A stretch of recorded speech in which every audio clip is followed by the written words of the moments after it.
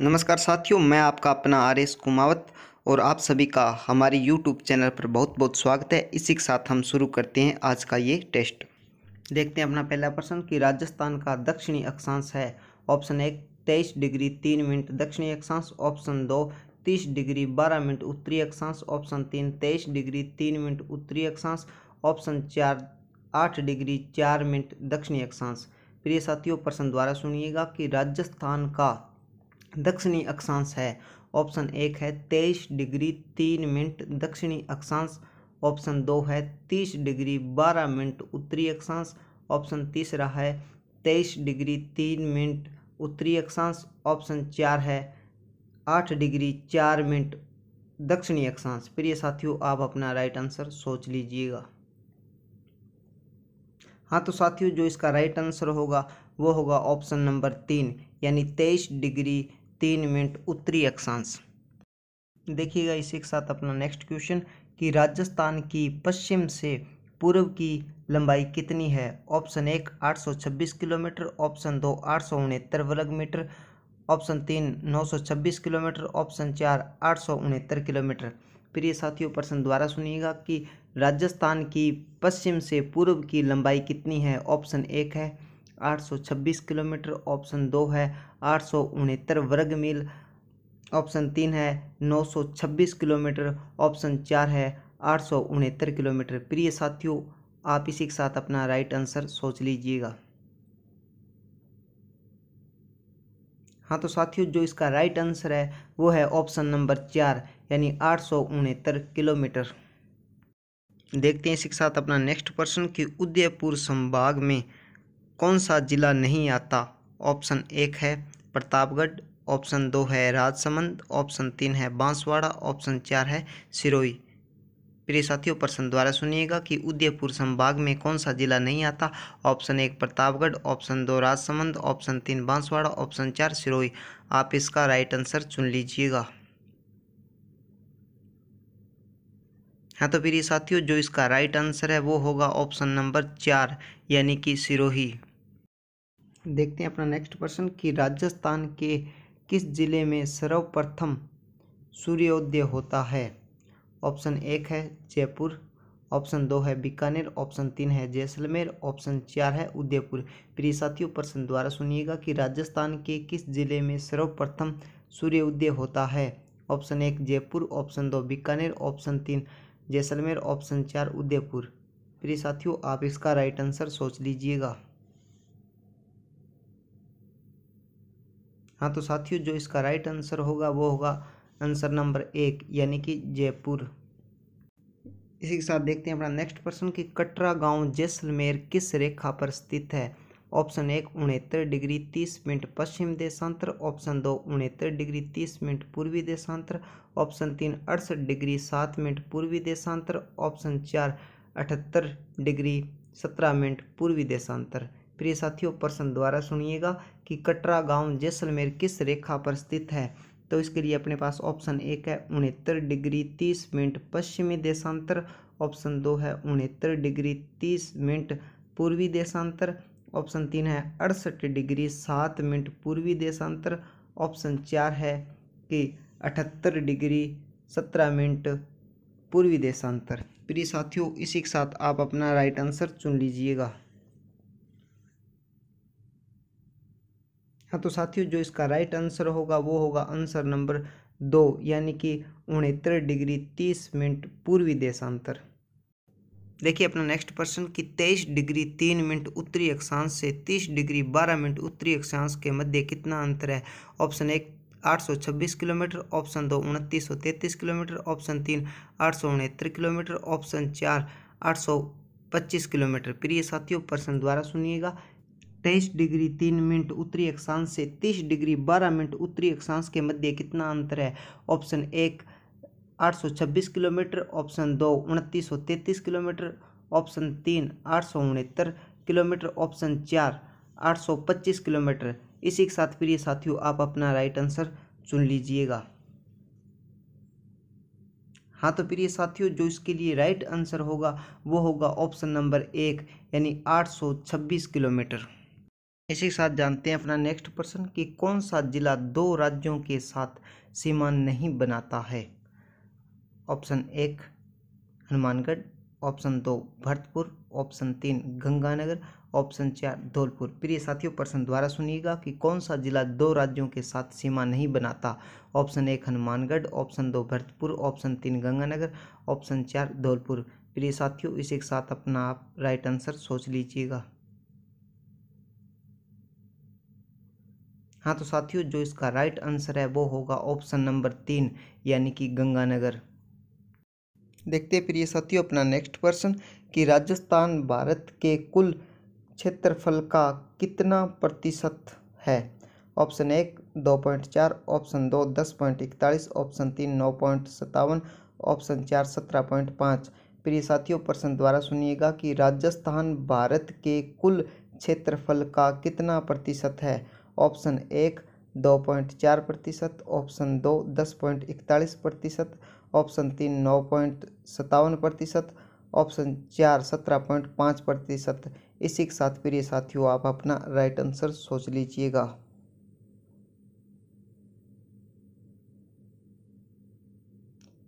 हाँ तो साथियों, जो इसका राइट आंसर होगा वो होगा ऑप्शन नंबर दो, यानी कि दस पॉइंट इकतालीस प्रतिशत।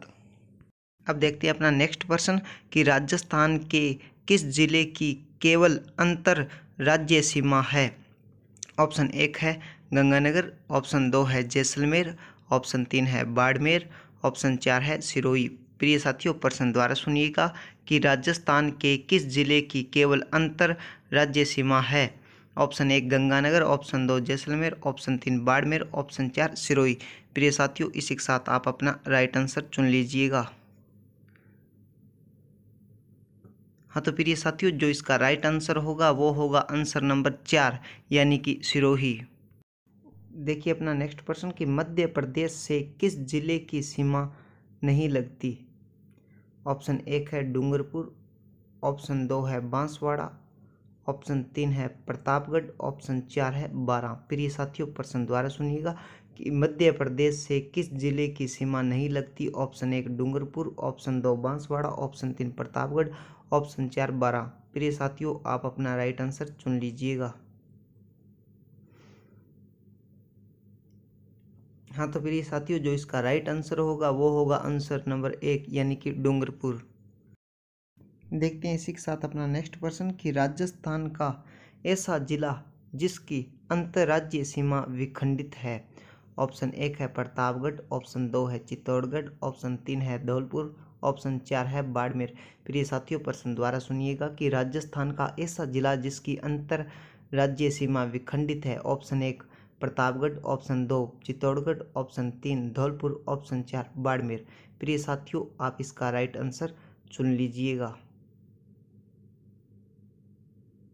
हाँ तो साथियों, जो इसका राइट आंसर होगा, वो होगा आंसर नंबर दो, यानी कि चित्तौड़गढ़। देखते हैं इसी के साथ अपना नेक्स्ट प्रश्न कि राजस्थान के केवल अंतर राज्य सीमा वाले ज़िले हैं। ऑप्शन एक है इक्कीस ऑप्शन दो है तेईस ऑप्शन तीन है पच्चीस ऑप्शन चार है आठ। प्रिय साथियों प्रश्न द्वारा सुनिएगा कि राजस्थान की केवल अंतर्राज्यीय सीमा वाले ज़िले हैं। ऑप्शन एक इक्कीस ऑप्शन दो तेईस ऑप्शन तीन पच्चीस ऑप्शन चार आठ। प्रिय साथियों आप इसी के साथ अपना राइट आंसर चुन लीजिएगा।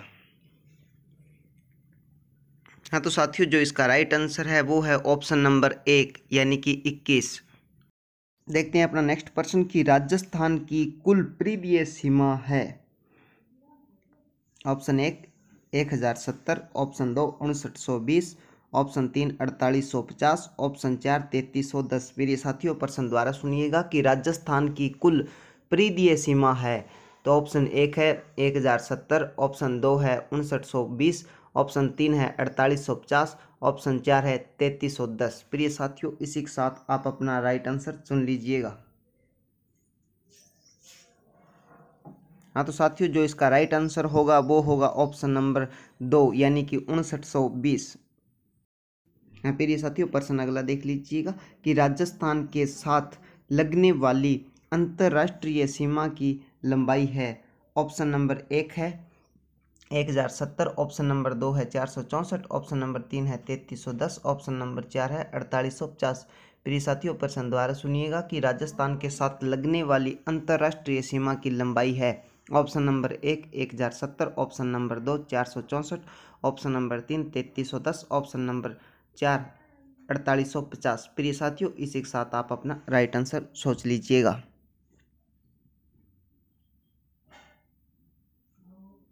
हाँ तो साथियों, जो इसका राइट आंसर होगा, वो होगा ऑप्शन नंबर एक, यानी कि एक हज़ार सत्तर। देखिए अपना नेक्स्ट प्रश्न कि किस ज़िले की सर्वाधिक सीमा पाकिस्तान से लगती है? ऑप्शन नंबर एक, बीकानेर ऑप्शन नंबर दो, गंगानगर ऑप्शन नंबर तीन, जैसलमेर ऑप्शन नंबर चार, बाड़मेर। प्रिय साथियों प्रश्न द्वारा सुनिएगा कि किस ज़िले की सर्वाधिक सीमा पाकिस्तान से लगती है? ऑप्शन एक बीकानेर, ऑप्शन दो गंगानगर, ऑप्शन तीन जैसलमेर, ऑप्शन चार बाड़मेर। प्रिय साथियों, इसी के साथ आप अपना राइट आंसर चुन लीजिएगा।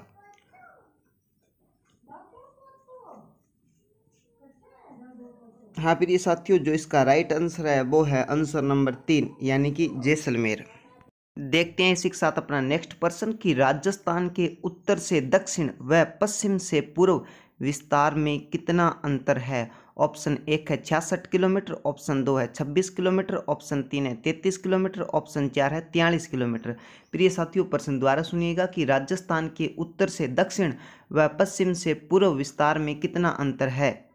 ऑप्शन एक छियासठ किलोमीटर, ऑप्शन दो छब्बीस किलोमीटर, ऑप्शन तीन तैंतीस किलोमीटर, ऑप्शन चार तियालीस किलोमीटर। प्रिय साथियों, आप अपना राइट आंसर चुन लीजिएगा। हाँ तो साथियों, जो इसका राइट आंसर होगा, वो होगा ऑप्शन नंबर चार, यानी कि तियालीस किलोमीटर। देखते हैं अपना नेक्स्ट प्रश्न कि किस ज़िले में सूर्य की किरणें सर्वाधिक तिरछी पड़ती है? ऑप्शन एक है गंगानगर ऑप्शन दो जैसलमेर ऑप्शन तीन धौलपुर ऑप्शन चार बांसवाड़ा। प्रिय साथियों प्रश्न द्वारा देखिएगा कि किस ज़िले में सूर्य की किरणें सर्वाधिक तिरछी पड़ती है। ऑप्शन एक गंगानगर, ऑप्शन दो जैसलमेर, ऑप्शन तीन धौलपुर, ऑप्शन चार बांसवाड़ा। इसी के साथ आप अपना राइट आंसर चुन लीजिएगा। हाँ तो प्रिय साथियों, जो इसका राइट आंसर होगा, वो होगा ऑप्शन नंबर एक, यानी कि गंगानगर। देखिए, अपना नेक्स्ट प्रश्न कि राजस्थान का पश्चिमी बिंदु है। ऑप्शन एक कोणागांव, ऑप्शन दो बोरकुंड, ऑप्शन तीन, कटरा, ऑप्शन चार, सिलाना। प्रिय साथियों, प्रश्न द्वारा सुनिएगा कि राजस्थान का पश्चिमी बिंदु है। ऑप्शन एक कोणागांव ऑप्शन दो, बोरकुंड, ऑप्शन तीन, कटरा, ऑप्शन चार, सिलाना। इसी के साथ आप अपना राइट आंसर चुन लीजिएगा।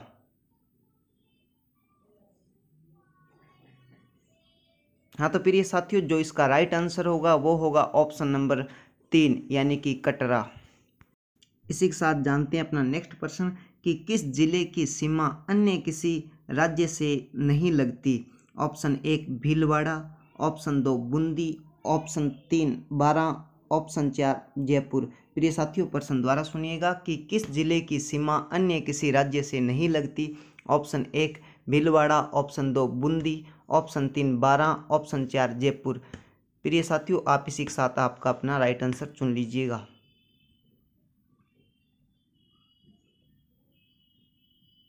हाँ तो प्रिय साथियों, जो इसका राइट आंसर है, वो होगा आंसर नंबर दो, यानी कि बूंदी।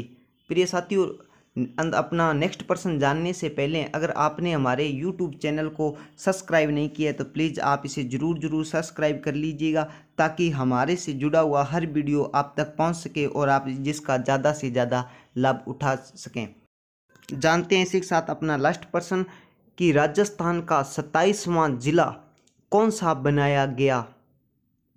ऑप्शन एक धौलपुर, ऑप्शन दो बारह ऑप्शन तीन अजमेर, ऑप्शन चार भरतपुर। प्रिय साथियों, प्रश्न द्वारा सुनिएगा कि राजस्थान का सताईसवां जिला कौन सा बनाया गया? ऑप्शन एक धौलपुर, ऑप्शन दो बारह ऑप्शन तीन अजमेर, ऑप्शन चार भरतपुर। प्रिय साथियों, इसी के साथ आप अपना राइट आंसर चुन लीजिएगा।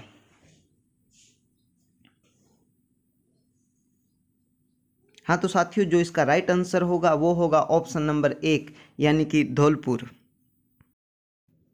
धन्यवाद साथियों, मैं आशा करता हूँ कि आपको मेरी टेस्ट सीरीज़ बहुत पसंद आई होगी, तथा साथ ही मैं आशा करता हूँ कि आपके कितने परसेंट सही होते हैं, ये आप मेरे को कमेंट बॉक्स में ज़रूर बताइएगा, तथा आप हमारे यूट्यूब चैनल को सब्सक्राइब एवं लाइक करिएगा, और आपके अन्य अगर भाई बहन या प्रिय कोई मित्र तैयारी कर रहे हैं तो इस वीडियो को उन तक भी शेयर करिएगा। जय हिंद, जय भारत।